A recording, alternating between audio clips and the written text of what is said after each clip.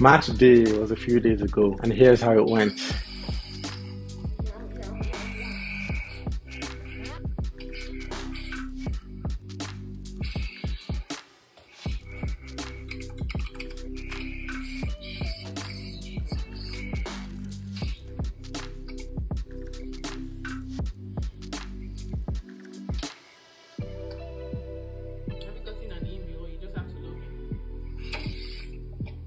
I'm not. Yeah!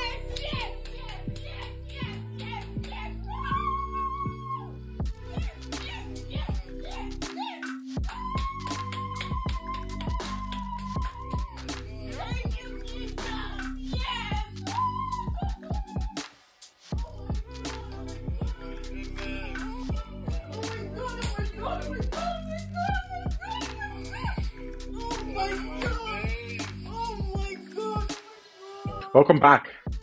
My name is Olumide, and as you just saw, I marched into orthopedic surgery as an IMG. First, I'd like to say a big, big thank you to everyone who's helped me get to this point. I couldn't have done this without your help. All my mentors, my supervisors, research supervisors, the orthopedic surgeons, residents taking their time out of their busy schedule to help me. I really do appreciate it. Big shout out to my family, can't forget about them.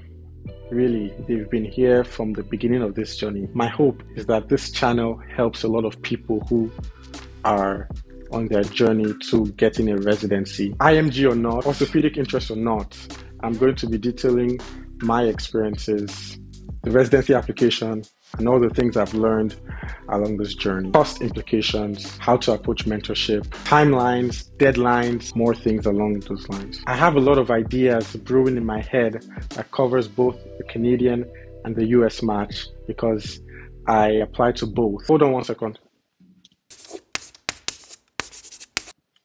All right, we're back. And if you want to follow me along my journey as an orthopedic surgery resident, I'll also be documenting the experience on this channel. I'll be covering everything from technical to personal, my schedule, work life balance, hospital experiences, finances as a resident. Don't forget to like and subscribe. Leave a comment down below if there's anything specific that you want me you want me to cover. I'll be releasing my first video in the next few days. Stay tuned and I'll see you there.